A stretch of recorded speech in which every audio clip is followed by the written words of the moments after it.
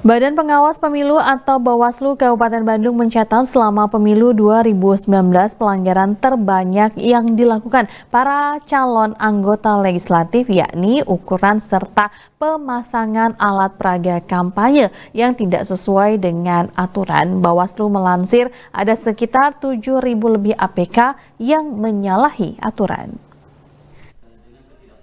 Badan Pengawas Pemilu atau Bawaslu Kabupaten Bandung melansir pemasangan alat peraga kampanye atau APK yang tidak sesuai menjadi pelanggaran yang dominan dilakukan para calon anggota legislatif selama pelaksanaan pemilu kemarin.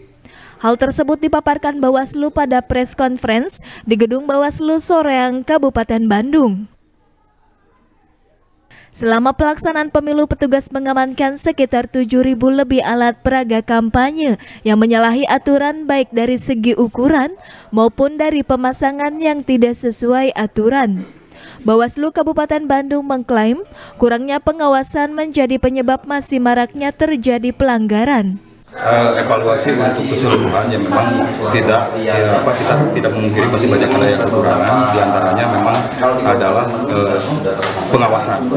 Pengawasan dan kemudian juga penindakan yang memang banyak peserta yang belum bisa memahami secara utuh tentang penanganan-penanganan artinya masih banyak ada laporan yang tidak memenuhi Selain alat peraga kampanye, petugas juga menemukan beberapa pelanggaran lain seperti PNS yang tidak netral, serta adanya pemilih dari luar daerah.